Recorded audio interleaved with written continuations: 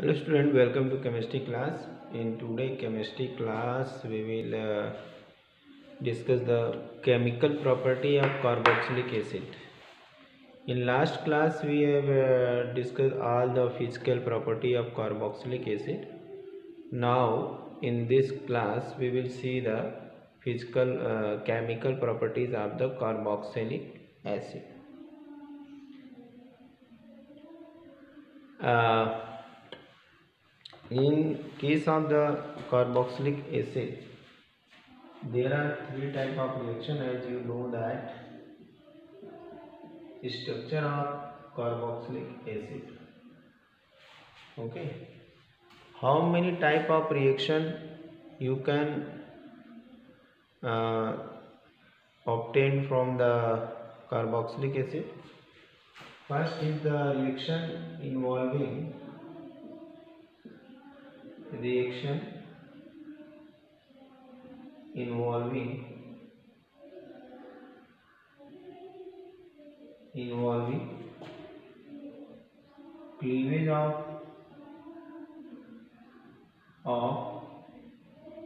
OH bond okay and second one is the second one this reaction involving involving cleavage of of CO bond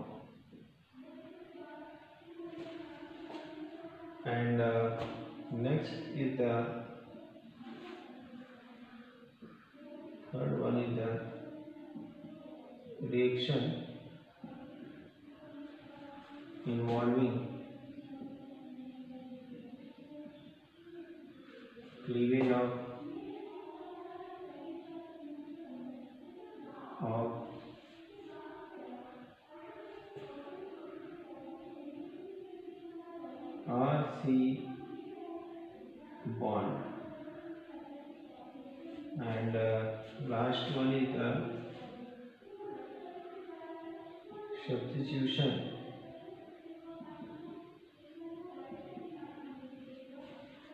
in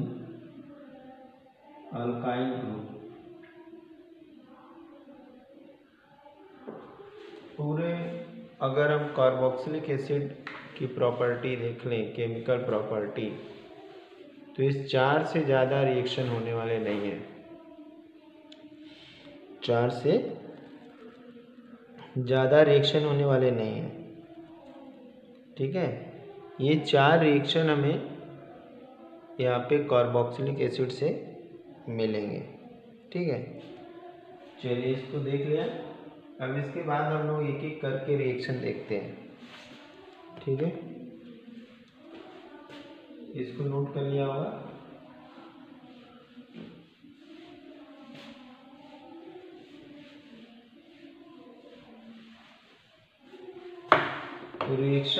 involving cleavage of OH bond. This uh, reaction shows acidic nature of carboxylic acid.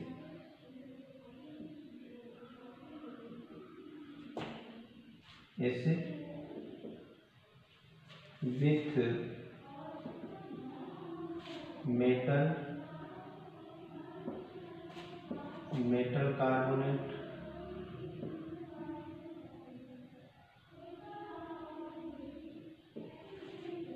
metal bicarbonate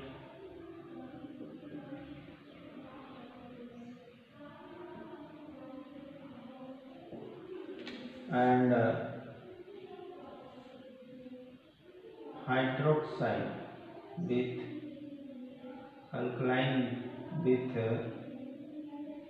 strong base strong and weak base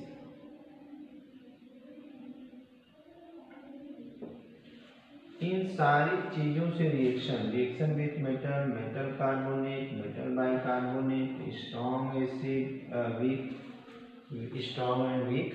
base इन सारे से जो reaction मिलता है वो reaction ये show करता है कि एल जो हमारा कार्बोक्सिलिक ग्रुप है वो एसिडिक नेचर का है ठीक है चलिए रिएक्शन देख लेते हैं पहले अगर हम इस कार्बोक्सिलिक ग्रुप का रिएक्शन मेटल से कराते हैं तो ये हम लैब के अंदर भी करके देख सकते हैं ये हम क्या है लैब के अंदर भी करके देख सकते हैं हाइड्रोजन गैस निकलेगी पॉप साउंड सुना था टेंथ में यहाँ पे R C O M A बन जाएगा साल्ट प्लस यहाँ पे हाइड्रोजन गैस निकलेगी ठीक है एक तो ये रिएक्शन हो गया दूसरा रिएक्शन क्या होगा कि इसी आर सी ओ एच का रिएक्शन अगर हम बेस के साथ कराते हैं एन के साथ तो यहाँ पे साल्ट बनता है ये भी रिएक्शन यही शो करता है कि कार्बोक्सिलिक एसिड क्या है बेसिक इन नेचर साल्ट और वाटर बन गया इसके बाद अगर हम रिएक्शन यहाँ पे आर सी ओ एच का सोडियम कार्बोनेट से करा दें N two C O three से तो क्या होगा यहाँ पे two R C O N A बन जाएगा और प्लस जो है कि एच टू ओ बन जाएगा और plus C O two gas निकलेगी ठीक है इसके अलावा अगर हम रिएक्शन कराएं R C O H plus N H C O three ठीक है तो क्या होगा यहाँ पे R C O N A बन जाएगा प्लस प्लस यहाँ पे क्या बनेगा प्लस एच टू ओ बनेगा और plus C O two gas निकलेगी ठीक है ये सारे रिएक्शन ये प्रूव करते हैं कि कार्बोक्सिलिक एसिड क्या है एसिड है ये क्या कर है एसिड है ठीक है लिटमस टेस्ट भी हम यहाँ पे कर सकते हैं अब यहाँ पे एसिड ये कार्बोक्सिलिक एसिड की जो एसिडिटी है जो स्ट्रेंथ है उसको कौन अफेक्ट कर सकता है कोई भी अगर सब्जिट्यूएंट इसके पास लगा हुआ है तो बच्चों ये हमें अब देखना है कि कौन यहाँ पे किससे कौन सा ग्रुप अगर हम आ, लगा देते हैं कार्बोक्सिलिक ग्रुप के साथ तो इसकी एसिडिटी बढ़ जाएगी और एसिडिटी घट जाएगी ठीक है तो इसको इरेज कर देते हैं हमने यहाँ पे बता दिया कि जो क्लीवेज होता है ओ एच बॉन्ड का वो एसिडिक नेचर शो करता है कार्बोक्सिलिक एसिड का जब रिएक्शन कराते हैं मेटल से तो हमने मेटल से करा दिया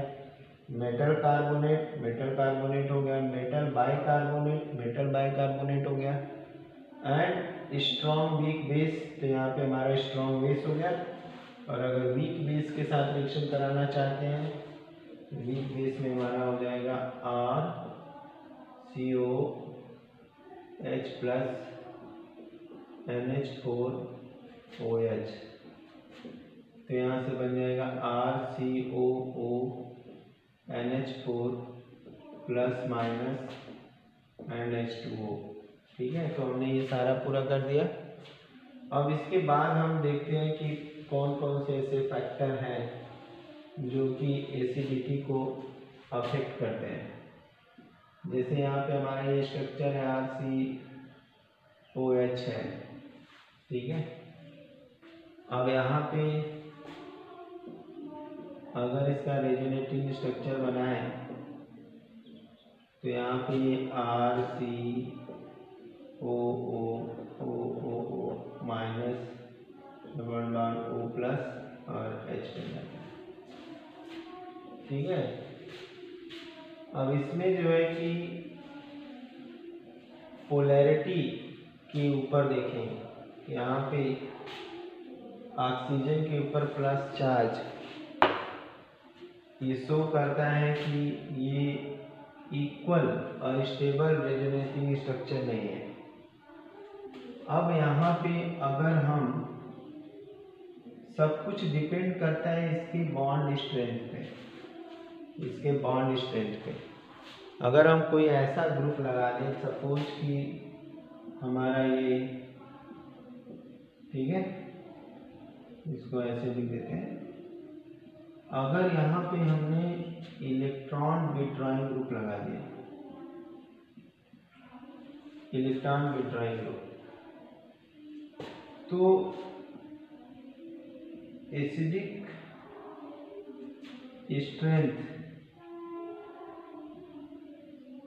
आप carboxylic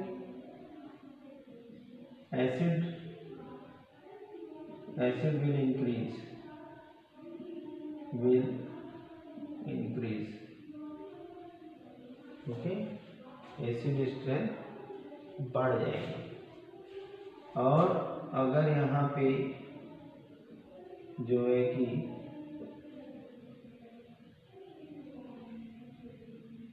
इलेक्ट्रॉन रिलीजिंग ग्रुप लगा दें एक तरफ हमने लगाया इलेक्ट्रॉन विड्राइंग ग्रुप तो अब ये बॉन्ड यहाँ पे वीक हो जाता है क्योंकि इलेक्ट्रॉन इधर की ओर खिंच जाता है यहाँ पे इलेक्ट्रॉन की डेंसिटी बढ़ा रहे ठीक है तो यहाँ पे ये बॉन्ड स्ट्रॉन्ग हो जाएगा तो यहाँ पे एसिडिक स्ट्रेंथ जो होगी strength strength of carboxylic acid acid will decrease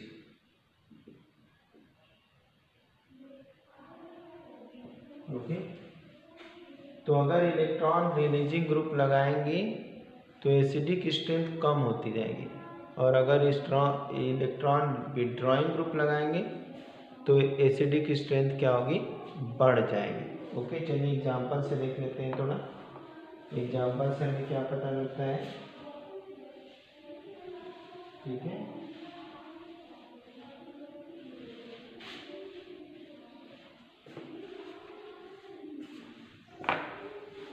यहाँ सपोज करिए कि अगर हम लिख लेते हैं double bond O O H यहाँ पे हम एच टू एफ ठीक है दूसरा हमारा है C L C H two C double one O O H ठीक है अब यहाँ पे हम ले लेते हैं B R C S two double one O O H फिर इसके बाद हम लोग यहाँ पे ले लेते हैं एक और I C S two C double bond O O H अब यहाँ पे हमने acetic acid C S three C O O H ये एसिटिक एसिड है इस एसिडिक एसिड में हमने फ्लोरीन लगाया as a electron withdrawing group तो मोस्ट इलेक्ट्रोनिगेटिव है इलेक्ट्रॉन अपनी ओर खींचेगा तो इसकी एसिडिक स्ट्रेंथ बहुत ज़्यादा होगी इसी तरह से क्लोरीन ब्रोमीन से ज़्यादा इलेक्ट्रोनिगेटिव है तो ये इलेक्ट्रॉन खींचेगा अपनी ओर तो इसकी स्ट्रेंथ इससे ज़्यादा हो जाएगी और इसकी स्ट्रेंथ इससे ज़्यादा होगी क्योंकि डाउन द ग्रुप जाने पे इलेक्ट्रोनिगेटिविटी क्या होती है घटती जाती है इलेक्ट्रोनिगेटिविटी घटती जाती है तो इस तरह से जो इलेक्ट्रॉन विड्राइंग ग्रुप अगर एक और एग्जांपल देख लेते हैं विड्राइंग ग्रुप क्या करते हैं इसको नोट कर लिया होगा चलिए ठीक है इसको नोट कर लिया तो अब इसके बाद यहाँ पे हम जो है कि नेक्स्ट देखते हैं सपोज कि हमारे पास सी एच टू एफ है C double bond O H दूसरा हमारे पास है F two F two C H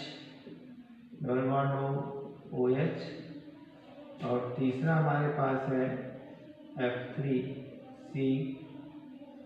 C double bond O O H अब अगर पूछा जाए कि इसमें से सबसे ज़्यादा एसिडिक कौन होगा इसमें से सबसे ज़्यादा acidic which one will be more acidic तो जितना नंबर आप सेम कंपाउंड है मगर नंबर आप जो विड्रॉइंग ग्रुप है वो हमने बढ़ा दिया पहले में फ्लोरिन एक था यहाँ दूसरे में फ्लोरिन टू है यहाँ पे थ्री है ठीक है तो सबसे ज़्यादा सपोज कि ये वन है टू है और ये थ्री है तो सबसे ज़्यादा जो एसिडिक होगा more acidic than more acidic than ठीक है तो ये सबसे ज़्यादा एसिडिक होगा ये सबसे कम एसिडिक होगा ठीक है आई बात समझे अब अगर इलेक्ट्रॉन रिलीजिंग ग्रुप लगा देते हैं इलेक्ट्रॉन विड्रॉइंग की जगह पे इलेक्ट्रॉन रिलीजिंग ग्रुप लगाएंगे तो पोलैरिटी कम होती जाएगी और एसिडिटी भी कम हो जाएगी पोलैरिटी कम होने के साथ साथ एसिडिटी भी कम हो जाएगी ठीक है अब जैसे कहने का मतलब है कि हमारे पास R C double one O H है फिर हमारे पास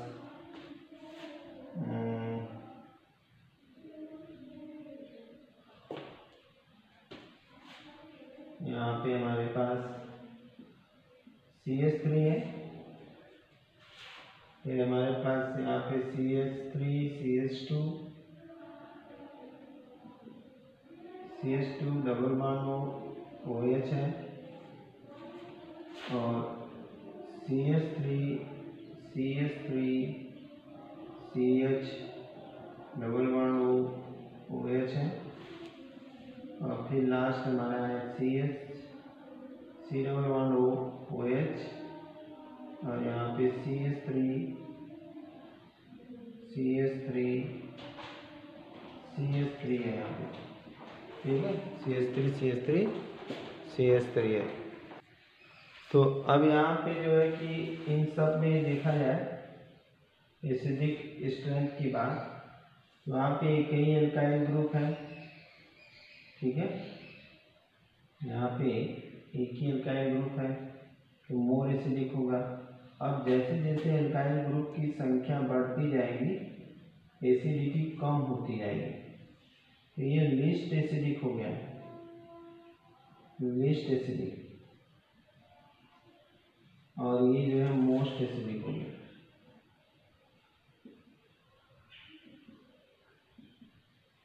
ये क्या हो गया मोस्ट एसिडिक ठीक तो ये हम लोगों ने एसिडिटी देख लिया अब इसके बाद हम लोग नेक्स्ट रिएक्शन पे आएंगे reaction involving cleavage of C O H bond reaction involving reaction involving cleavage of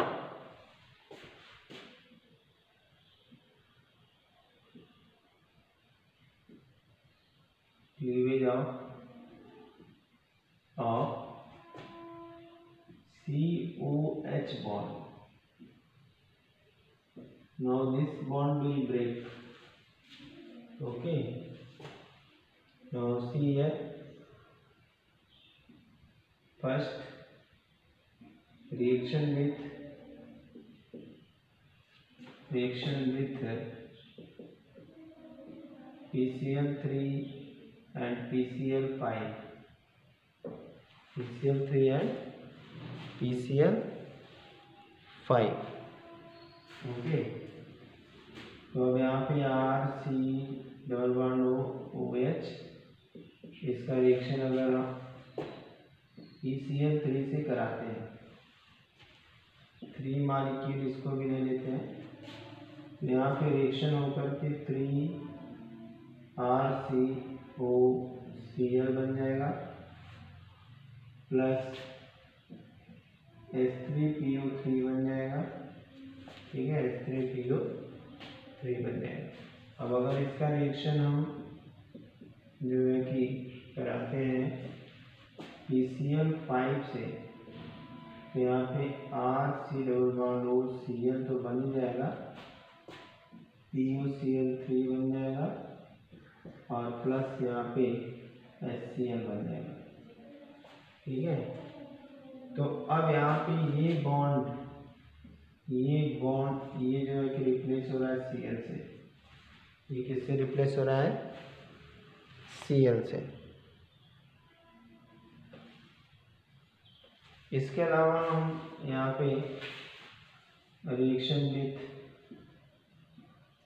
ये सारे रिएक्शन हम लोगों ने देखे हैं वहाँ पे एलुअल के में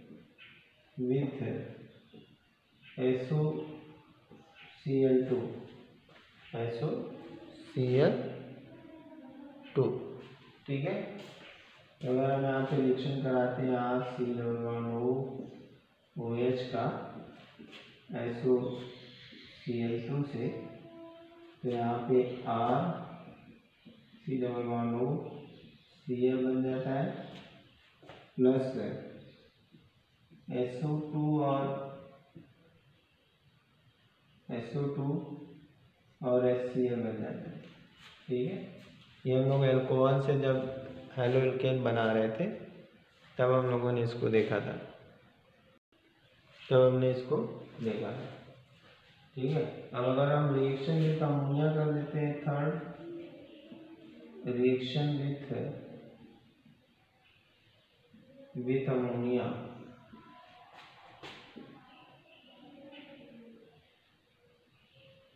ammonia अगर करते हैं तो क्या होगा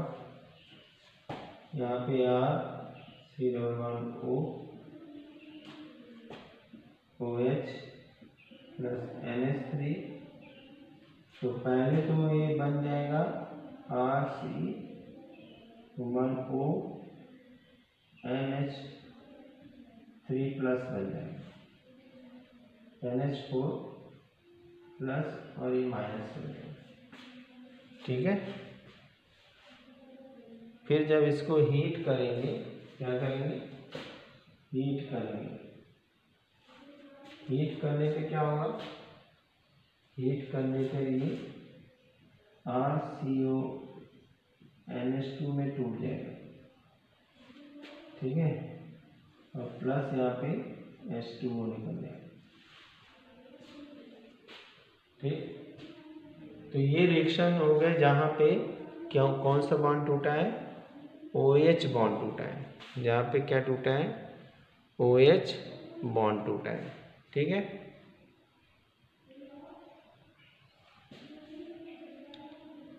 अब इसके बाद हम लोग रिएक्शन मेटल का नॉन मेटल का सारा हमने कर लिया ठीक है इसके बाद हमें रिएक्शन देखना था रिएक्शन इन्वॉल्विंग ये हो गया reaction involving cleavage of R C O O H bond ये बॉन्ड टूटेगा ओके इसको इरेज कर दें चलिए